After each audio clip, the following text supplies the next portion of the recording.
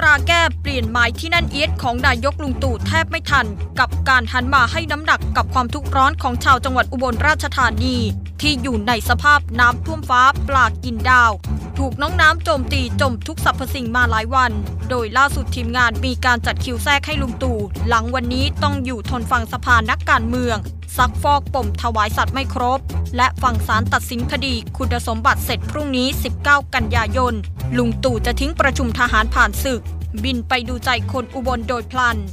คณะพลเอกประวิทย์ก็รีบยกเลิกจัดงานเลี้ยงสสรัฐบาล ในโอกาสปิดสมัยประชุมวันศุกร์ 20 กันยายน หลังเกิดดราม่าพลาดท่าทีไปเป็นเชฟทำอาหารใต้ ที่บ้านลุงกำนันที่ว่ากันว่าจะมาเป็นตัวช่วยยามที่มือเคลียร์ร้อยเอกธรรมนัฐกำลังวุ่นกับการเคลียร์ตัวเอง จนลุงตู่ถูกนินทาหนักว่า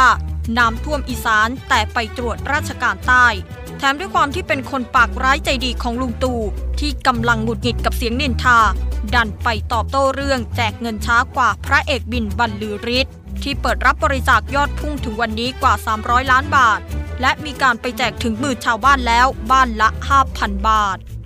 โดยลุงตู่ที่ยังอยู่ในอารมณ์อะไรอะไรก็ด่าตู่ดันไปไฟชาวบ้านว่า เห็นหน้านายกก็ทวงแต่จะให้แจกเงินช่วย ก็ยิ่งทำให้สถานการณ์ดราม่าลุงตู่หนักเข้าไปอีก จนรัฐบาลต้องรีบจัดรายการพิเศษ ถ่ายทอดสดช่อง9ล็อกตัวพระเอกบิน ให้พระจากชาวบ้านบินด่วนมาช่วยนั่งรับโทรศัพท์กับลุงตู่ระดมการบริจาคจากภาคเอกชนเมื่อวาน 17 กันยายน ได้เงินมา 260 ล้านบาท ที่แน่นอนก็ต้องมาผ่านกระบวนการของราชการอนุมัติการใช้ก่อน ซึ่งปมนี้ก็ยังเป็นดราม่าอยู่ จนทีมงานต้องนำคลิปลุงตู่ในมาดนิ่งๆ ใจดีออกมาวันนี้ อธิบายระเบียบราชการขั้นตอนให้ชาวบ้านเข้าใจ และถือโอกาสให้รัฐมนตรี ให้ข่าวอธิบายว่า รัฐบาลไม่ได้หายหน้าไม่ไปช่วย แต่ส่งเจ้าหน้าที่รัฐทุกภาคส่วนลงพื้นที่ตั้งแต่วันแรกแล้ว โดยเฉพาะทหารจำนวน 4,000 นาย ที่เข้าถึงทุกพื้นที่ช่วยชาวบ้าน รวมถึงหน่วยงานของปพของมหาดไทย ซึ่งทุกอย่างไม่ได้ช้า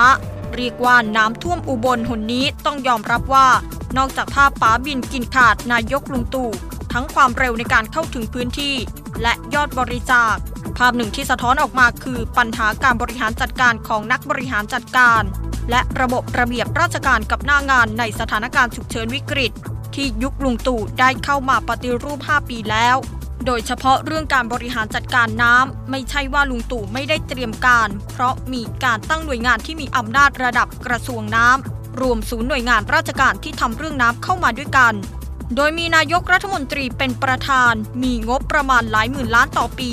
เพื่อสามารถชาร์จกับสถานการณ์ได้ทันท่วงที เพียงแต่กรณีอุบล หน่วยงานรัฐ โดยเฉพาะมหาดไทยของบิ๊กป๊อกอาจเกรงๆกับการที่กำลังถูกตรวจสอบการใช้งบประมาณหมื่นกว่าล้านอย่างหนัก จากปปช จนทำให้ภาพรวมลุงตู่ถูกมองว่าออกตัวช้าไปกว่าพระเอกบินก็เท่านั้น